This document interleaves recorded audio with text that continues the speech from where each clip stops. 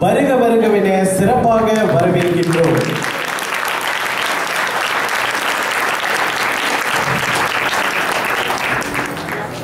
தொடர்ந்து அடுத்தபடியாக இந்நிறைவு விழாவின் நன்றியுரை இதனை வழங்குவதற்கு தெய்வ திருமகன் அம்மா பகவான் பக்தன் இந்த ஈராயிரத்து பதினான்காம் ஆண்டின் ஒற்றுமை பஜனை ஏற்பாட்டு குழுவினரின் சார்பில் ஸ்ரீ கலைஜி அவர்களை நன்றியுரையாற்ற அன்போடு வரவேற்கின்றோம்.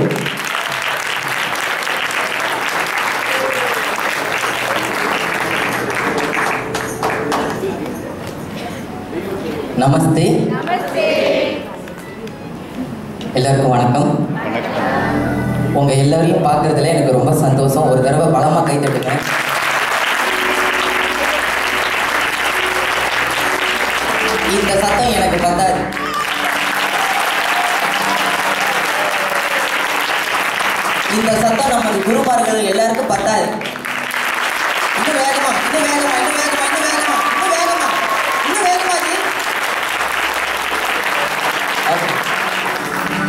எல்லோரையும் ஒரு சேர இந்த இடத்துல பார்க்குறதுல நாங்கள் மிகுந்த மகிழ்ச்சி அடைகிறோம். நான் இன்னைக்கு இந்த இடத்துல நின்று பேசுகிறது அம்மா பகவான் இயக்கத்தின் சார்பில் நின்று நான் பேசலை. நான் இந்த யூனிட்டி பஜன் பஜன் குரூப்ஸ் எல்லா டீமையும் எல்லா குழுவினரையும் பிரதிநிதிச்சு தான் இந்த இடத்துல நான் நின்றுக்கிட்டு இருக்கிறேன். ஸோ அதனால் நான் ஒருத்தன் இல்லை எனக்குள்ளார பதினேழு பேர் இருக்கிறாங்க.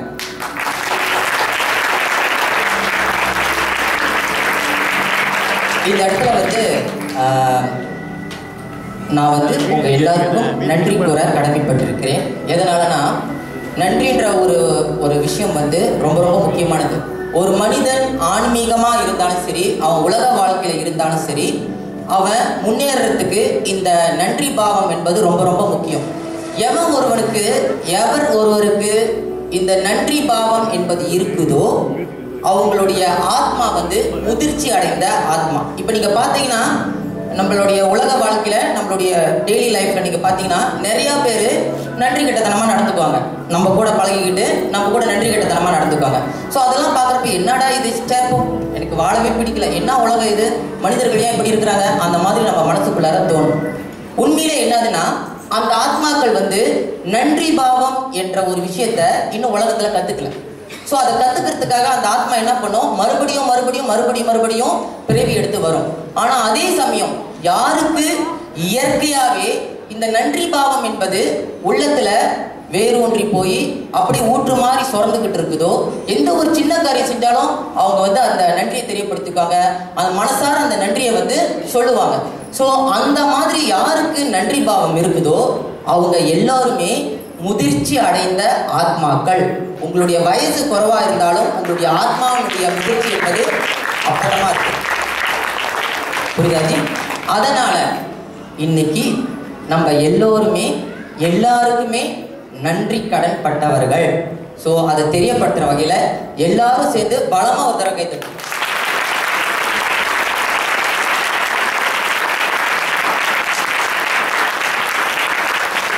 நான் நன்றியை சொல்லி முடிச்சிட்டேன்னா என்னோட டாப் முடிஞ்சிடும் அதனால் நான் இன்னும் நன்றி சொல்லலை. புரியுதாஜி நான் நன்றி சொல்கிறதுக்கு முன்னுக்கு ஒரு கதை சொல்கிறதுக்கு விருப்பப்படுறேன். கதை கேட்க தயாரா? இல்லை டைம் ரொம்ப கஷ்டமாக ஷார்ட்டாக இருக்குதா? பசிக்குதா எல்லாருக்கும்? கதை ஒரே ஒரு கதை. ஓகே ஒரு ஊரில் ஒரு அரசன் இருந்தான். அந்த அரசனுக்கு வந்து நிறைய கொடைத்தன்மை. அதாவது யார் வந்து கேட்டாலும் வாரி வாரி கொடுப்பான். அப்படிப்பட்ட ஒரு அரசன் ஸோ அவனை வந்து அந்த ஊரில் உள்ளவங்க எல்லாருமே போட்டுருவாங்க புகழுவாங்க. அவனுக்கு ரொம்ப ஆனந்தம். ஐயோ நம்ம வந்து நாலு பேருக்கு உதவி செய்ய முடியுது அப்படின்னு சொல்லிட்டு அவனுக்குள்ள அப்படிப்பட்டது ஒரு ஆனந்தம். அவன் நல்ல வாழ்க்கை வாழ்ந்துட்டு வந்துட்டு இருந்தான். அதே ஊர்ல ஒரு சாமியார் இருந்தார். ஒரு யார் இருந்தா சாமியார் இருந்தார். நான் இடையில கேள்வி கேட்பேன். எதுக்குன்னா நீங்க முடிச்சிருக்கீங்களா? அப்படி டெஸ்ட் பண்றதுக்கு. ஸோ சாமியார் இருந்தார். ஸோ அந்த சாமியார் வந்து என்னதுன்னா அவர் வந்து பிரச்சனை அப்படி சொல்றோம் சொல்லி வர்றவங்க எல்லார்கிட்டையும் அவங்களுடைய பிரச்சனையை தீர்த்து அவங்களுக்கு ஆசீர்வாதம் வழங்கிட்டு இருந்தாரு. ஸோ அந்த சாமியார் அந்த ஊருக்கு அப்பதான் புதுசா வந்திருக்கிறாரு. வந்து ஒரு ரெண்டு மூணு மாசத்துலயே சாமியார் ரொம்ப பாப்புலர் ஆயிட்டாரு. ரொம்ப ஃபேமஸ் ஆயிட்டாரு. அவரை நாடி பக்தர் கூட்டம் அலைமோத ஆரம்பிச்சிருச்சு. புரியுதாஜி ஸோ அந்த பக்தர் கூட்டம் ஒரு காலகட்டத்தில் எப்படி இருந்துச்சுன்னா அரண்மனைக்கு போய் அரசன் கிட்ட யாசகம் கேட்கிற மக்களை விட எண்ணிக்கையை விட இந்த சாமியார்கிட்ட போய் ஆசீர்வாதம் கேட்குற மக்களுடைய எண்ணிக்கை ரொம்ப ரொம்ப அதிகமாக இருந்துச்சு. இது அந்த அரசனுடைய காதுக்கு எட்டுனுச்சு. காது கேட்டனோடனே அந்த அரசனுக்கு ஒரு கேள்வி. என்னடா இது? இவ்வளோ செல்வங்களை நம்ம வாரி வாரி வழங்குறோம். நம்மள வந்து ஆளுங்க வந்து ரொம்ப குறைவாக வந்து பார்த்துட்டு போகிறாங்க நம்ம அரண்மனைக்கு குறைவாக வராங்க. பட் இந்த ஆ- இந்த சாமியார்கிட்ட ஒன்றுமே இல்லை. என்ன சொல்லுவாங்க? பரதேசி. அப்படிப்பட்ட அவரை போய் இவ்வளோ பேர் போய் பார்க்குறாங்களே அப்படி சொல்லிட்டு அவருக்கு ஒரு கேள்விக்குறி. அந்த கேள்விக்குறி நாளாவ நாளாவ எப்படி மாறிடுச்சுன்னா பொறாமையாக மாறிடுச்சு. ஸோ அந்த பொறாமையில அவர் என்ன பண்ணாரு? அந்த சாமி சாமியாரை வெறுக்க ஆரம்பிச்சாரு.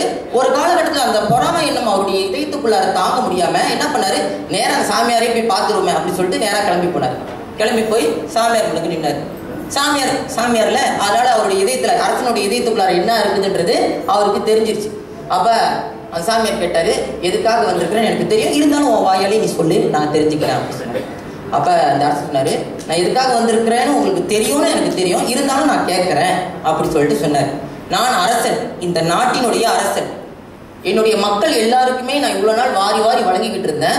அது எல்லாத்தையும் வாங்குறதுக்கு மக்கள் வந்து என்னை தேடி வர ஆரம்பிச்சாங்க. என்னுடைய இன்ஃப்ளூயன்ஸ் வந்து இந்த நாட்டில் ரொம்ப அதிகமாக இருந்துச்சு. பட் இன்னைக்கு என்ன நடந்துகிட்டு இருக்குதுன்னா உங்களோட இன்ஃப்ளூயன்ஸ் தான் நிறையா இருக்குது. எனக்கு இது ஏற்றுக்க முடியல. உங்ககிட்ட எதுவுமே இல்லை. அப்படிப்பட்ட பரதேசியாக இருந்து கூட நீங்கள் உங்ககிட்ட எதுவுமே இல்லாமல் இருந்து கூட மக்கள் எப்படி உங்களை தேடி வராங்க? அப்படி என்ன இருப்பு உங்ககிட்ட இருக்குது? அப்படின்னு சொல்லி அந்த அரசர் அந்த சாமியாரை பற்றி கேட்டார். அதுக்கு சாமியார் சொன்னார் சரி இதுக்கு நான் பதில் சொல்லணும்னா கொஞ்சம் தூரம் என் கூட நடந்து வா அப்படி சொல்லிட்டு ரெண்டு பேர் நடந்து போனாங்க. நடந்து போய் போய் போய் போய் போய் போய் கடைசியில் சாயந்தரம் ஆச்சு. அந்த சாயந்தர நேரத்தில் சூரியன் அஸ்தமனம் ஆகுது ஒரு மலைமேடு மலைமேட்டுக்கு பின்னால் சூரியன் அஸ்தமானம் ஆகுது அந்த காட்சி ரொம்ப ரொம்ப அழகாக இருக்குது. ஸோ அந்த காட்சியை பார்த்துட்டு சாமியார் கேட்குறாரு அந்த காட்சி எவ்வளோ அழகாக இருக்குது அப்படின்னு. ஆமாம் ரொம்ப அற்புதமா இருக்குது. ஆனால் நான் கேட்ட கேள்விக்கு நீங்க என்ன பதில் சொல்லலையே? அப்போ அந்த சாமியார் சொன்னாரு அந்த இடத்துல உனக்கு என்ன தெரியுது? சூரியன் அஸ்தமனம் ஆகுது அந்த இடத்துல சூரியன் அஸ்தமனத்தில் உனக்கு என்னென்ன தெரியுது? சூரியன் தெரியுது. வேற என்ன தெரியுது? அது அஸ்தமனம் ஆகிற அந்த இடம் அந்த மலை முகடு தெரியுது. ஓகே. ஸோ அதில் இந்த அஸ்தமனம் என்ற நிகழ்வு அன்னாட நடந்துகிட்டு இருக்குது. அன்னாட நடந்துகிட்டு இருக்குது இந்த அஸ்தமனம் ஆகிற சமயத்துல அந்த சூரியன் ரொம்ப ரொம்ப அழகா இருக்குதா இல்லையா? ஆமா. அதே மாதிரி அந்த மலையும் அழகா இருக்குதா இல்லையா? ஆமா. அப்படி சார். சரி இதுக்கும் நான் கேட்ட கேள்விக்கு என்ன சம்பந்தம் அப்படி சொல்றப்ப அவர் சொன்னாரு இங்க பாருப்பா சூரியன் ஒரு விதமான அழகு மலை இன்னொரு விதமான அழகு. ஸோ என்னைக்கும் மலை சூரியனை பார்த்து நீ என்ன என்னோட இவ்வளோ அழகா இருக்கிறேன்னு சொன்னதில்ல? அதே மாதிரி சூரியனும் மலையை பார்த்து நீ என்ன இவ்வளோ பச்சை பசேல்னு இருக்கிற? அப்படின்னு வருத்தப்பட்டதில்லை.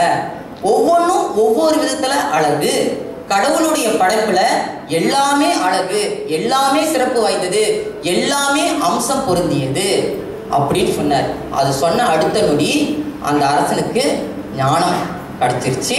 அந்த அரசன் உண்மையை உணர்ந்துட்டார். அதாவது உலகத்துல நம்ம எதையுமே கம்பேர் பண்ண வேண்டிய அவசியமே கிடையாது. எல்லாமே கடவுளுடைய படைப்புல அற்புதமானவைகள். எல்லாமே முழுமைத்துவம் நிறைந்தவைகள்.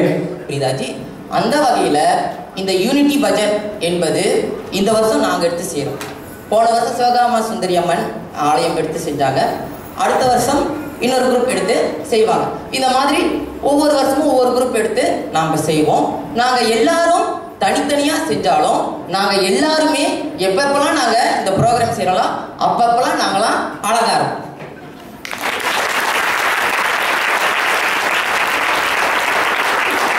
புரியுதாஜி ஸோ அதுதான் எங்களுடைய யூனிட்டி புரியுதாஜி இந்த யூனிட்டின்றது வந்து வித்தியாச வித்தியாசமான ஒரு விஷயம்.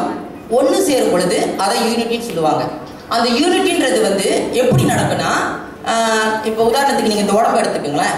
இந்த உடம்புக்குள்ளார என்னென்ன இருக்குது? சொல்லுங்க பார்ப்போம் டக்கு டக்குன்னு சொல்லுங்க பார்ப்போம் டைம் ஆகிட்டு இருக்கு. எலும்பு இருக்குது. வேற? ஆ? நரம்பு இருக்குது. வேற? நுரையீரல் இருக்குது. வேற? கண் இருக்குது. காது இருக்குது. மூக்கு இருக்குது. இந்த மாரி எல்லா விதவிதமான பொருள் இருக்குது தானே ஆனால் அந்த எல்லா விதவிதமான பொருட்களும் ஒன்று சேர்ந்து உடம்பா மாறுது. நீங்க உதாரணத்துக்கு வச்சுக்கீங்களேன் உடம்பு ஃபுல்லா உங்களுக்கு இதயம் ரொம்ப பிடிக்குன்றதுக்காக உடம்பு ஃபுல்லா இதயமாவே இருந்துச்சுன்னா எப்படி இருக்கும் உங்களோட உடம்பு? கொஞ்சம் யோசிச்சு பாருங்க. மனசு மனசுல இருப்பானா? இல்ல உங்களுக்கு தான் வாய் ரொம்ப பிடிக்கும். அந்த உதடு வந்து சோப்பா ரொம்ப அழகா இருக்குதுன்னு சொல்லி உச்சந்தல்லேருந்து உள்ளங்கால் வரைக்கும் எல்லாம் உதடாவே இருந்துச்சுன்னா எப்படி இருக்கும்? யோசிச்சு பார்க்க முடியலல்ல?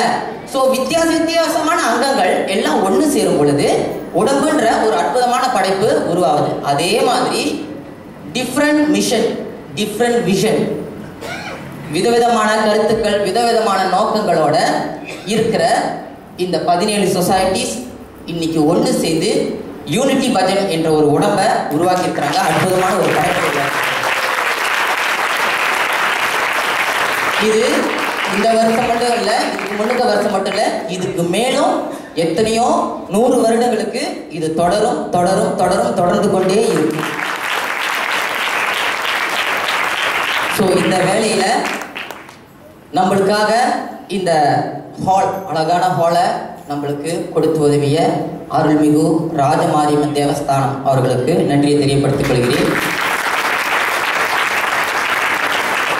அருள்மிகு சித்தி விநாயகர் ஆலயம் ஜோஹர் ஜயா அவங்களுக்கும் எங்களுடைய நன்றி. இது நான் ஒண்டியா சொல்லல நாங்க எல்லாரும் சேர்ந்து எங்களுக்கு சொல்லிக்கிறோம். அடுத்தது ஸ்ரீலஸ்ரீ பரமஹம்ச தாசர் பஜன் குரூப் அவங்களுக்கும் எங்களுடைய நன்றி. ஸ்ரீ சாய்பாபா சென்டர் ஜேபி அவங்களுக்கு நன்றி. என்ன இவ்வளோ மெதுவாக கல்கத்தீங்க கேட்டுட்டீங்க ஸ்ரீ மாரியம்மன் கோவில் கோத்தாமாசாய் அவங்களுக்கு அருள்மிகு தண்டாயுதபாணி கோவில் அருள்மிகு ராஜமாரியம்மன் தேவஸ்தானம் நான் சொல்லிட்டேன். ஸ்ரீ சக்தி ஆசிரமம் தங்கா. தங்காக்கிலேருந்து மெனக்கட்டு வந்திருக்கிறாங்க இந்த ப்ரோக்ராம் செய்யறதுக்காக Sathya Saibaba centres of JB divine life society Johor Bahru Sri Ramakrishna Peetam Kulai Madhava Jothi Thapovanam Sri Prahlada Raghavendra Peetam Om Shakti மன்றம் பர்லிங் அமிர்தேஸ்வரி சொசைட்டி சனாதன தர்ம சாய் நிலையம் ஸ்ரீ மகா சிவகாம சுந்தரியம்மன் ஆலயம். உங்கள் எல்லோருக்கும் எல்லாருடைய சார்பிலும் எங்களுடைய பத்து கரங்களையும் பத்து விரல்களையும் கூப்பி மனதார நன்றி நன்றி நன்றி.